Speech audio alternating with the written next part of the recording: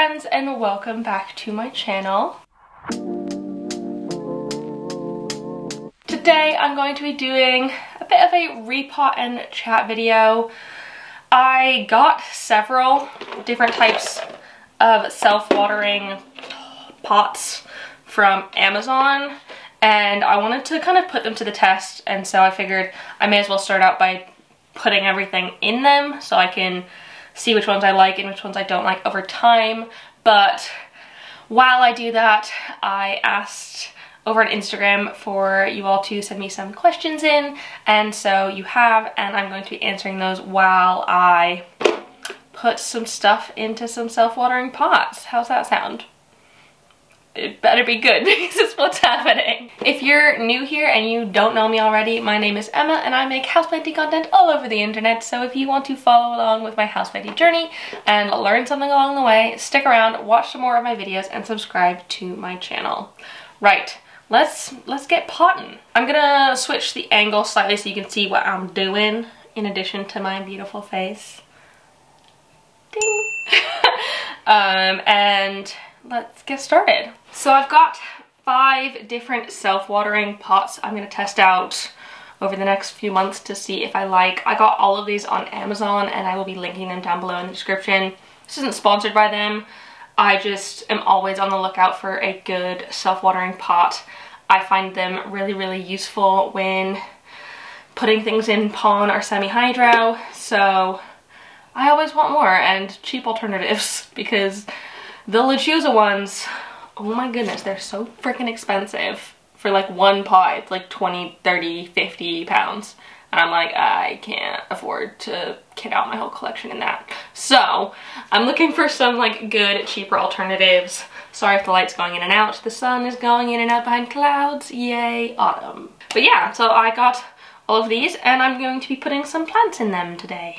So I think I will start with this one because it goes well with one of the first questions. So, the first question, mm, just dropped those all over the floor. the first question was, can you explain how self-watering works and why it's a good alternative for some? So, I think self-watering is like actually really good if you're using semi-hydro because you don't end up with plants that look like this. As you can see, my Frydek is a bit unhappy at the moment. It's got some sad leaves here, and that's because I have forgotten to refill the water reservoir. So I've got a kind of makeshift self-watering pot here, and actually for all of these ones, pretty much, they're in a sort of makeshift, and I just use a normal nursery pot with holes in the bottom and a cache pot and I fill the water up to like you can kind of see the line where I fill the water up to. And so it's still sitting in a puddle of water, but because it's pon or semi-hydro, that's okay because the, there's enough air for like in between the little minerals to give the roots some aeration while not like suffocating them with like too much water. But I really like self-watering pots that have a sort of indicator on it. This one in particular has a little raindrop cutout. and when it's full this little thing floats to the top and it goes blue oh that's really far away and then as it drains the water like the blue goes away and you can tell that it needs more water which I think is really really useful because when they're like this I can't tell without picking them up like every day whether or not they need more water so although this works and is fine, you just need to pay a little bit more attention to this rather than in this where you can just very easily look kind of from afar even and see whether or not it needs more water. Let me get the bottom of the pot.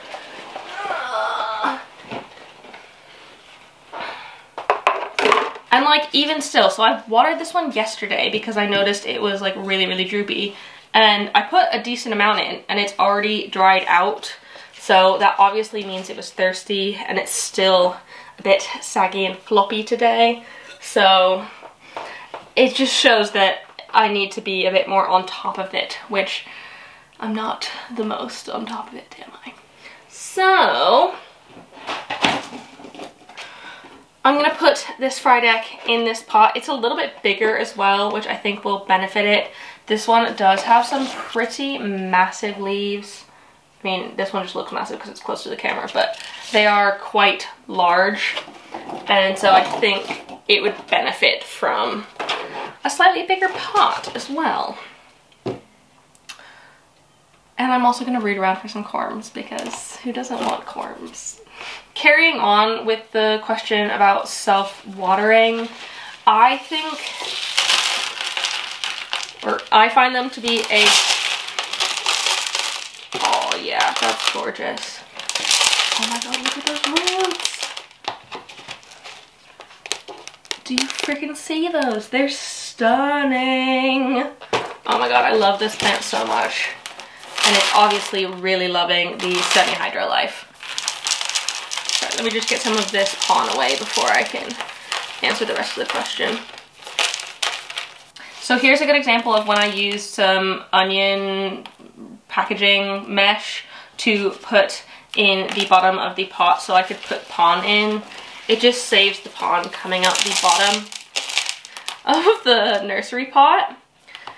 But now it's kind of a pain because I kind of want to untangle it, which isn't the best thing for the roots, but it will be okay. I could just let them continue growing through it, but I feel like it's one of those things like, you know when you get a plant and it's got that like mesh around it and because it's like a plug plant, I don't want this to become that. If this wants to grow bigger, I don't want to stop it from doing that by keeping the mesh in there. So I'm going to try to take it out. It might take a minute, um, but I will try. I also find self-watering pots a lot easier because they, like, I don't have to be on top of watering constantly. Um, I'm able to kind of fill up a reservoir and let it set sit for a little while and not have to worry about overwatering, which is like a massive cause of issues in plants. Overwatering is probably one of the leading cause of plant deaths through root rot and rhizome rot, corm rot, bulb rot, all the different types of rot. So it's like best to avoid it at all costs and using something like self-watering is good for that. I personally haven't used self-watering with um, soil as I'm not like super familiar with that, but I find that with pon it is absolutely freaking perfect because it just does exactly what you want it to do. Create a nice reservoir for the plant. Another question is what is my number one wish list plant right now? Oh my goodness, that is a hard one. So I've actually recently acquired um, what has been my number one wish list plant. It was my um, Anthurium warocqueanum. Like I had literally wanted that plant for years before I got it at the Rare House Plant Festival. So I had like, it was kind of just like always the number one wish list plant I had on my list. But now that I have it, I'm like, what's next? um, I'm probably gonna try and wait a little bit before I like get any more wishlist plants. I do need to get a couple after my wishlist plant video, which I'm really excited about. So I will be getting some from that. But I think my number one, probably a Philodendron El Chaco Red um, or a Rubra Juvenile.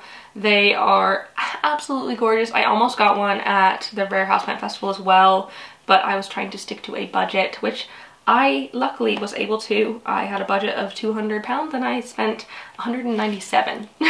so I'm pretty proud of myself for that um, because I was very tempted to get an El Chaco Red. They are absolutely stunning plants and like they would make a great addition to anyone's collection. But I think that's my number one plant in the minute because I've also gotten, what other wishlist plants have I gotten recently? I got an Alocasia Melo recently, um, like a couple months back, and it's doing really well. I'm about to get a Syngonium Three Kings. Um, someone I know, one of my patrons actually, is um, very kindly offered to send me one as like a belated birthday present, which is so sweet of her. Um, and I'm like super excited about it. Um, what else? Oh, I don't know. I feel like I've just been, I've been getting quite a lot recently, which has been really fun. But at the same time, I'm also trying to not buy plants, so it's hard. It's so very hard. I'm kind of going off of that at the same time. The question is, do you try and limit how much you spend, um, I think they mean a month, or just see if you can afford something at the time? Um, I think I am quite lucky in that technically buying houseplants is a business expense for me because this is my full-time job. Whoop, whoop. Um, and so I don't spend my personal money on it. I guess all of good growing money is my personal money because I am a sole trader um, slash self-employed. But like uh, they are a little bit separate. So I do have savings from good growing that I can almost always spend on plants. I try to not do it too much. I don't set myself specific like limit usually except for when I'm going to like the Rare House Plant Festival and I was like, okay, I can spend 200 pounds. Um, that's kind of more usual for me. I don't really go out to plant shops that often because I know I'm very tempted to buy plants and also because I've gotten more into like rarer plants they're less likely to be in just like average plant shops so I don't really I kind of set myself a budget and I kind of don't at the same time. It's kind of complicated. Does that make any sense? Um, if there's something that I really, really, really want, I will usually buy it because I want it. But it has to be something that I'm like really, really, really in love with and I feel like that doesn't happen every day. So yeah, and especially if I'm buying online, I have a little bit more self-control sometimes. Like if I'm already putting in an order, I have no self-control because it's like, it's already happening. I may as well spend more money. Um, or like, let me try and get to the free shipping or whatever. Um, but if, if I'm not putting in an order already, I'm a lot less likely to just like go and buy plants because hitting the like add to cart and checkout buttons doesn't deter me from doing it, but it makes it like I have to actually confirm that it's what I want to do. Sometimes I have to have Joe like talk me out of it. um, but yeah, so I, I have an, I have an idea of how much I could spend at any given time, but I try to not, if at all possible. Because I am trying to be a business of myself. Um, okay, got that out. Um, I did tear some of the roots off, unfortunately, but they should be fine. There's still tons of roots in here, so I'm like not worried about it. Look at those roots. Yay! So I'm just going to put some pon in the bottom of this pot and plant this inside of it.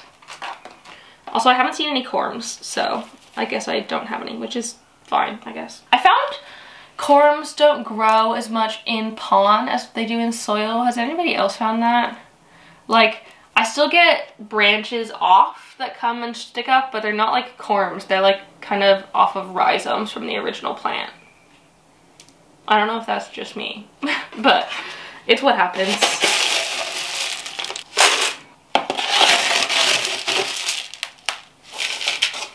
So I can't really talk while I'm doing this because it's so freaking loud that the audio gets all messed up and sounds weird, so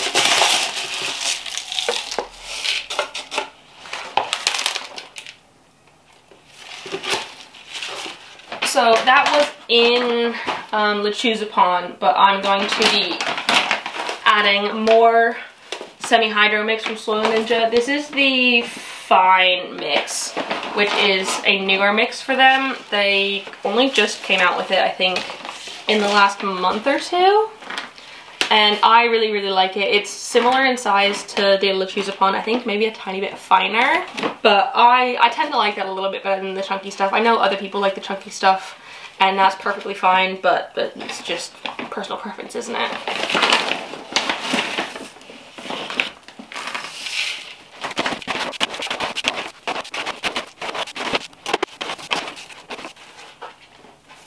So there we go. It's looking pretty good. I can rotate this around to be wherever I want. I did put a chopstick on this one because it had a bit of a dent where it had fallen over, but I think it's looking really good. I'm going to fill it up and we can move on to the next one.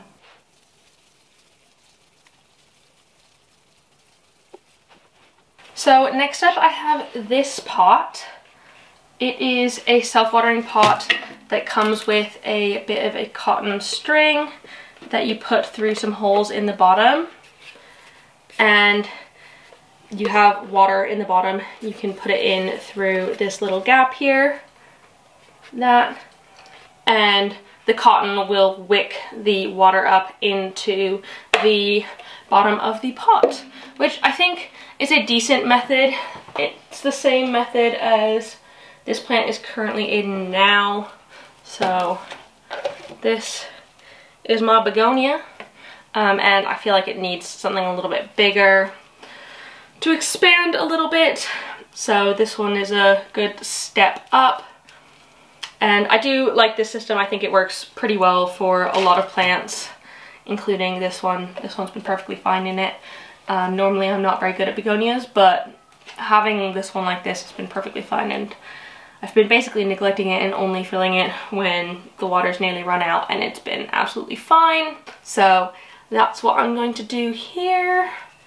So the only problem I foresee about this pot is that the holes are quite large, especially for pon. I feel like they'd probably be fine for soil, but because pon and semi-hydro is so fine, especially the fine um, Soil Ninja mix.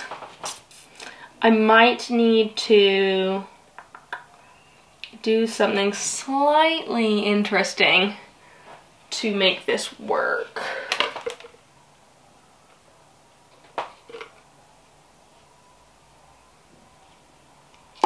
You know what? So I think I'm actually going to use this mesh, um, the garlic mesh, and put it in the bottom just so the pon doesn't go through. I'm going to rip a couple tiny holes, which seems counterintuitive, but I want the string to be able to go up above the mesh. So I'm going to put the string through here, through these holes, like that. And then feed those through to the bottom and then the mesh will just sit on the bottom. So I'm not sure how well you can see in there, but I've just put the mesh on the bottom and the cord goes through the mesh. And that should be perfectly fine and it'll still work to wick up the water, which is what we want. I feel like pon repots don't work as well with answering questions because it's a bit louder, so maybe this wasn't the best choice for a repot and chat, but here we are. We're gonna make it happen because we've already started. The next questions kind of go together is how's life as a full-time YouTuber and are you finding it hard to keep a daily routine now that I've quit my job some time ago? So for those of you who are new here, hi, I'm Emma. I'm a full-time YouTuber, um, which I absolutely freaking love. I love this job so much. I am really, really, really, really, really enjoying it. It's like, I feel like I'm living my dream, which is like all I could ever ask for.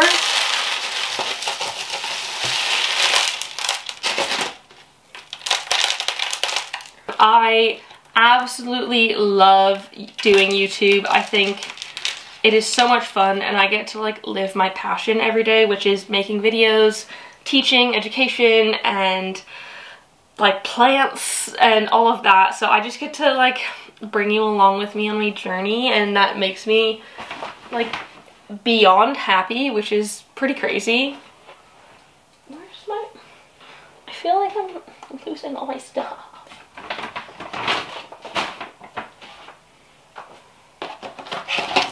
It's right here. oh, so like it's honestly, it makes me so happy to be able to do this.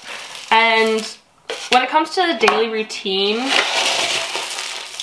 at the beginning, it was quite a lot harder to kind of get into a daily routine. I wasn't used to it. I was used to going to a, the same job every day, doing the same things, um, like being told what to do, having no sort of autonomy about my schedule, like zero flexibility whatsoever.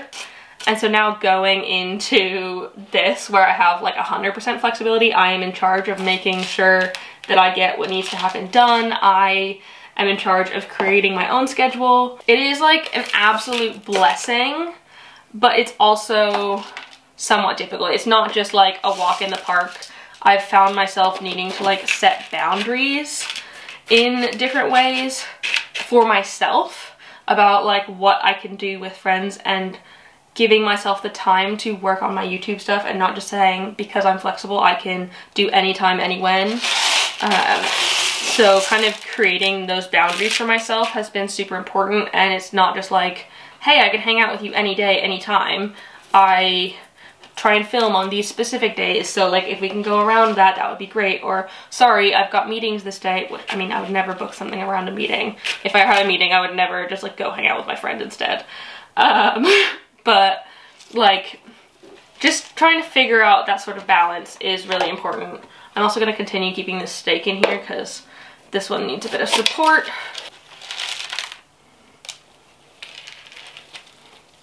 But yeah, I find it great. I'm really loving it, but kind of getting into the daily routine is a little bit harder. And I think I am learning. I've kind of gone into somewhat of a routine with myself, like a weekly routine. I am trying to like film content on Mondays and Wednesdays because Joe is at the office on those days. And so it kind of gives me a free house to like film as I need and I don't have to worry about like him talking or him being in calls or him coming into the kitchen or me saying like, hey, you have to stay out of this room all day long, um, which like I can imagine being quite annoying for him. So it is it is good for me to film when he's out. Not saying I can't. I filmed for the past like two or three years while he was in, so I can. It's just easier when he's not. So I think it is good to have that. And then I use like the rest of the week to do admin, to edit, to plan, um, work on other projects like the plant swap that's coming up, which I'm really excited about. Um, I can't believe how fast tickets sold out for that. Like, all in all, they sold out in like 36 and a half hours. We had two different releases and it took that long to sell all of the tickets, which is absolutely mental, seeing as we didn't even sell out in our first one and we had half as many tickets almost. So it's just like, it's just mental um, and I'm really excited about it. But yeah, I'm I'm really, really, really, really, really loving being able to do this. And I am not quite making as much money as before. I'm still like working on getting that higher, but I know it'll come in time and I just need to be patient and keep putting out content. And I've been absolutely loving putting out three videos a week. Like, I feel like I'm for the longest time I've had so many ideas and like, oh, I want to do this, that, and the other. And now I actually get the chance to do those things, which before I couldn't.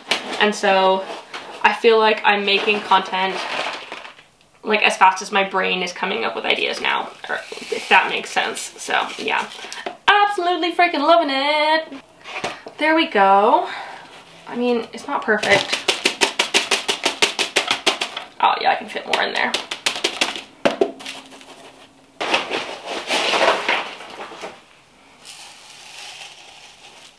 there we go. Hopefully this will like its new pot. I think it definitely will. I think having the clear reservoir at the bottom is actually quite nice because I can much easier see it than when it was in this black one. Though it is clear and though you can technically see it, it's not like a first glance kind of thing, whereas this will be much more of a first glance.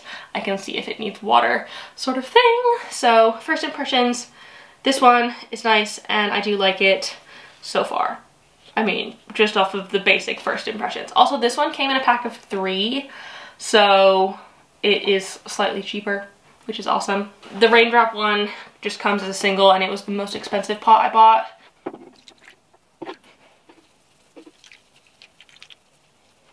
So this next one is actually just one of these pots, but I've done a little bit of jigging beforehand to see if I can attach a moss pole to it. So one of the most annoying things for me about moss poles is when they're not connected to the pot. So I can't just like lift it out with the moss pole. And so I have actually like made holes in the pot and in the pole and zip tied them together. So now it's just all one and it fits really well, which is awesome because I was worried that it wasn't gonna work out. But it has, does this fit? How does this fit? There we go, like that.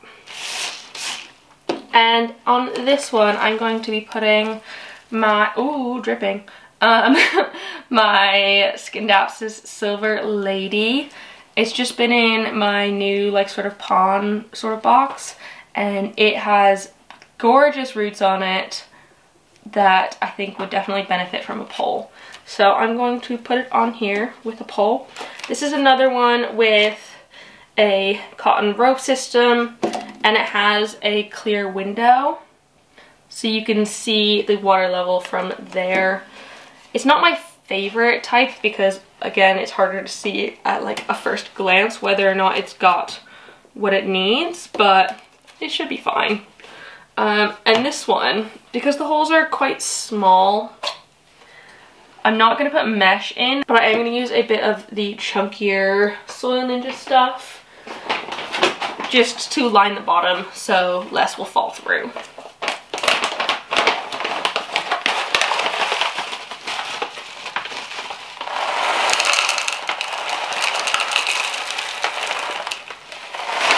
So I've just put a layer on the bottom there and I'm going to fill the rest up with like the normal Soil Ninja Semi-Hydro.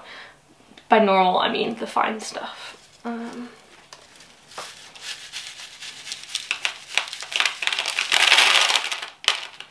Oh yeah, look at these roots.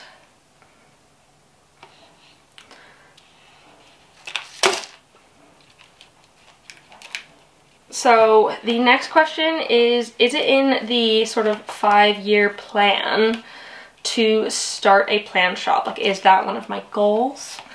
And honestly, the answer is no. Um, I don't really feel like I want to start a plant shop.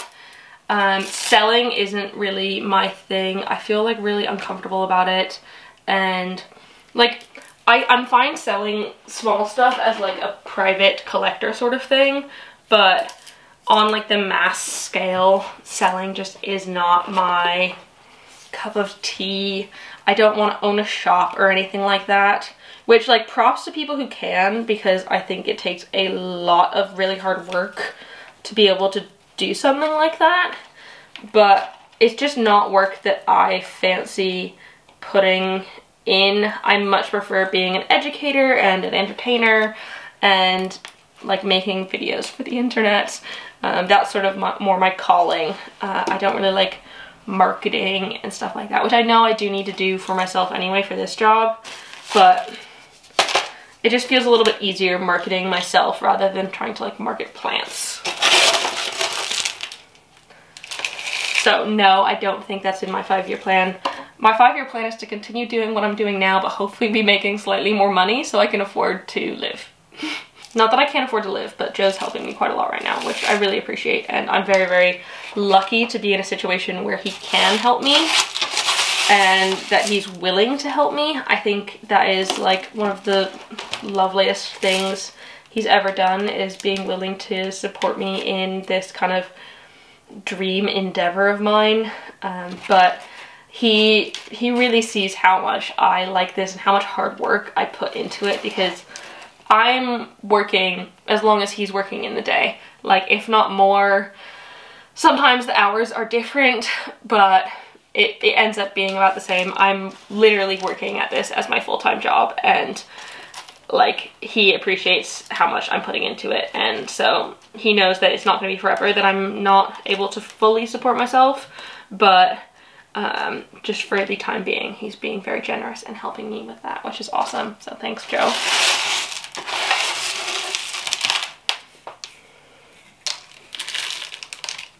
This is a good one for right now. Do you water your plants less with a real moss pole? So like this is a real moss pole as opposed to a coco coir pole. Um, I think I water the soil less. I very rarely will water just the soil of my plants that have moss poles on them because they are mostly getting water through the moss.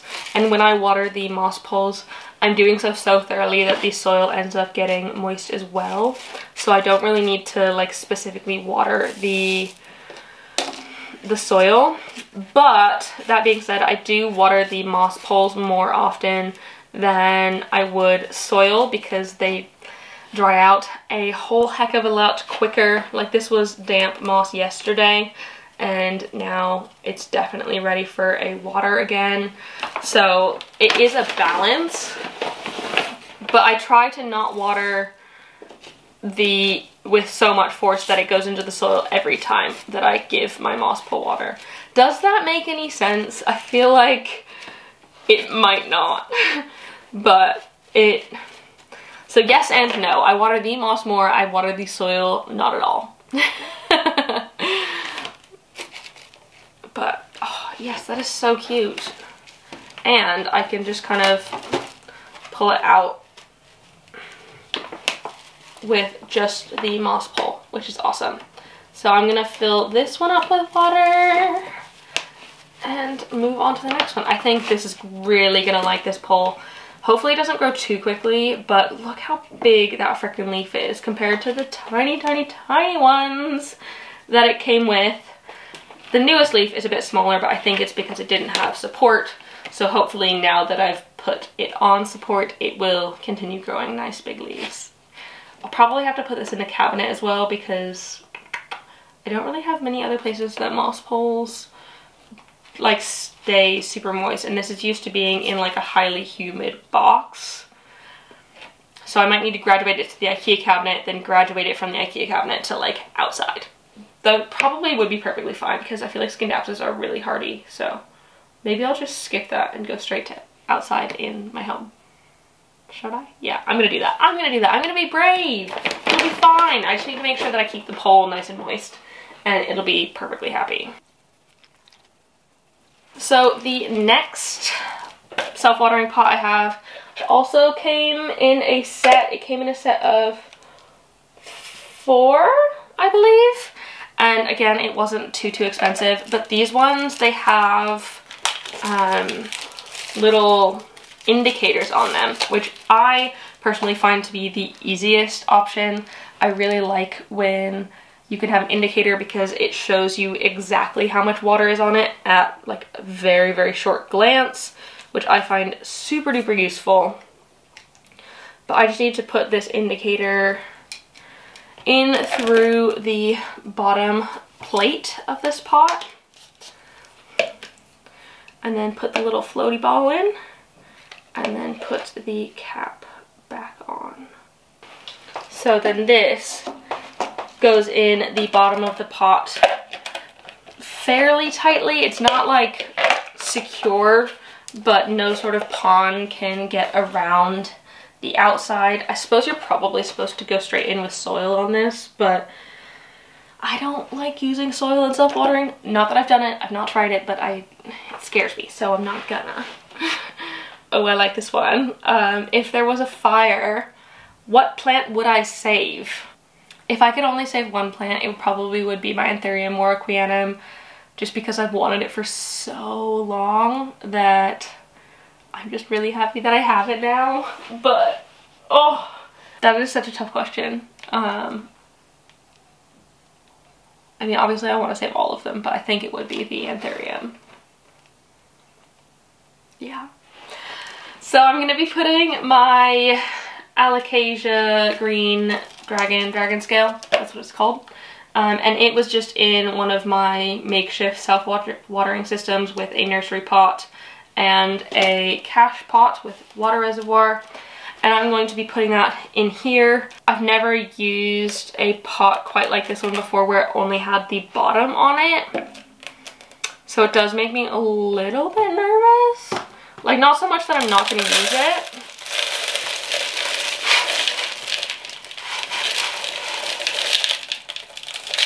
But just that I don't wanna like do it wrong. the next question is, what will you be taking to the plant swap? Ooh, it just got really dark. The sun like proper went away. Um, what will I be taking to the plant swap? That is a really good question. Um, I have a lot of things in my prop box at the minute. Um, definitely some White Princess cuttings because I have about a bajillion and a half of those. I'll probably take some Hoya cuttings because I have lots of Hoyas right now that are quite long that I could cut a good chunk off of some Epipremnum Kujang because I've got a ton of those. Cebu Blue because I have a thousand and a half Cebu Blue cuttings. Um, and I know they're quite a popular plant. I mean, I freaking love them, but I have too many at this point. Um, I have a couple Alocasia bulbs that are like repeats of plants that I have that I can bring. Um, other than that, I don't know. I'm like kind of a last minute person when it comes to that kind of thing. I'll just like go around on the day and think like, oh, I could get rid of this, I could get rid of that, like mm, maybe this, I'll take cutting here, cutting there. I'll bring some Rhaphidophora tetrasperma because mine's freaking huge and like outgrowing its pole already because it grows like a freaking madman. Um, not that madmen grow quickly, but um, yeah, no. Um, And then, yeah, I'm, I'm just gonna see. Things might change. I might not bring some of those if I end up doing a little bit of a plant sale before then. Or I'm more likely so gonna bring more because um, why not? Who doesn't want more? There we go. Okay, I really actually like this. I was a bit worried that the like plate at the bottom wouldn't work well, but I think it does. And so I'm just gonna put some water in here and this one will go back in the cabinet when it's done. So yeah. I have one more. And it is this pot here. So this was one that I found because I thought it'd be quite interesting. It is a self-watering planter, but it has a flat back and a hole so I could use it to like hang something on the wall and it wouldn't stick out too weird. So I was thinking about what would work well in that. And I think I'm going to put my Maranta Silver Band because I've got all my other Marantas in pon at the minute and so why not put this one as well because I like having my Marantas in pon and they seem to like it as well. So yeah, I think that'll work. I think it'll be fine. Um, but this is another one that has the sort of cotton string that I just have to feed through the holes in the bottom of the pot like so.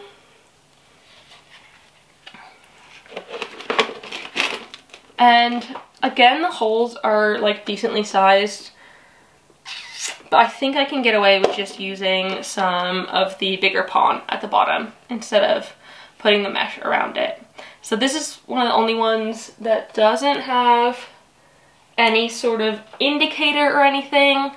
But I thought it was interesting because it does have the like flat back feature. So it might be slightly more annoying to check on, but we will see. It'll take some trial and error and I will like give you an update on all of these plants and pots in a future video kind of sharing like my favorites, which ones that worked, which ones I didn't like as much, pros and cons of all of them. So yeah, if that's something you want to see, do let me know because I can do that. Put the little water emoji drops um, down below in the comments if you are interested in watching that for me because I think I would have wanted it and I haven't really seen many on the internet. So that's why I'm making it happen.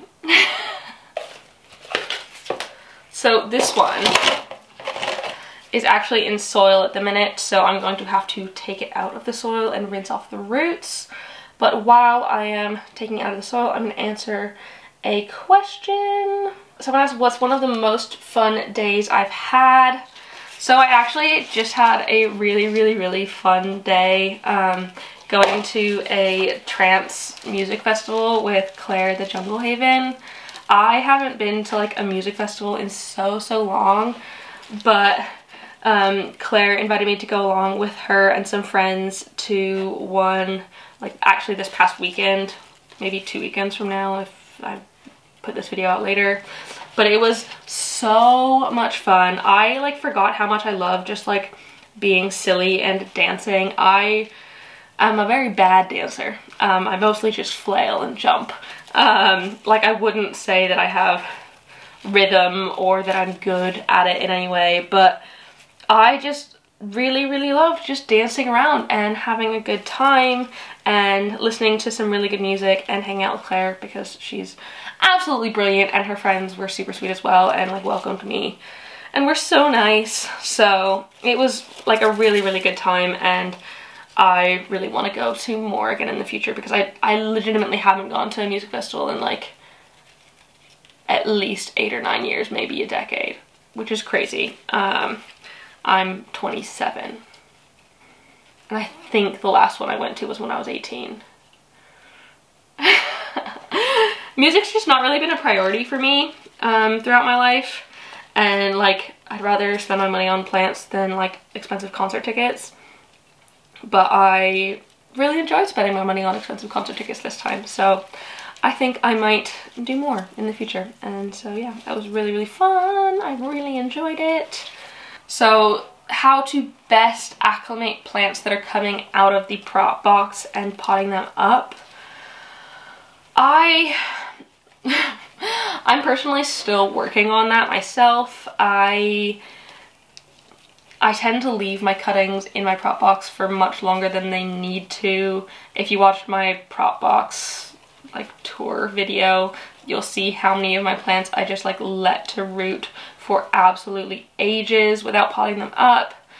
And so after that, I did end up potting a bunch up.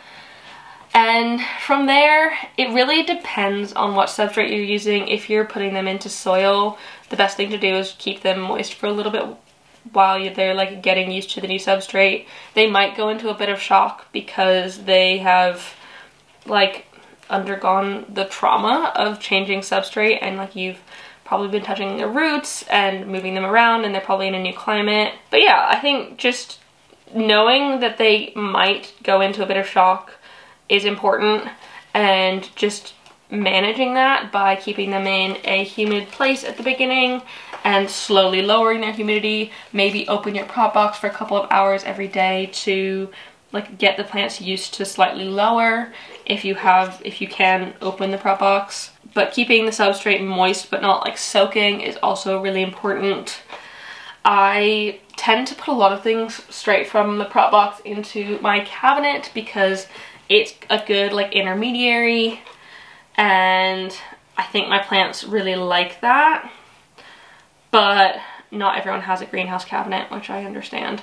So it's it's good to just try and keep them humid for a little while and um, maybe group them together with other plants, put them on a pebble tray, um, put them near a humidifier, something like that to just boost their humidity and make sure that they are staying like moist. That's probably my best advice, but I'm I'm a procrastinator about it as well, so. so, I'm a bit nervous because I was hoping there'd be a little bit more rootage than this on them. They're not huge.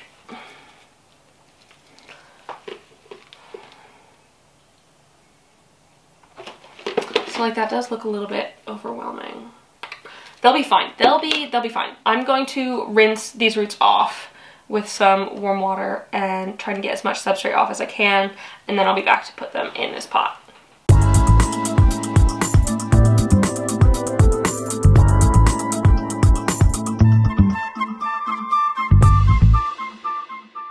So that is it. That is the end of me repotting all of these self-watering pots that I'm testing out and answering your questions from Instagram.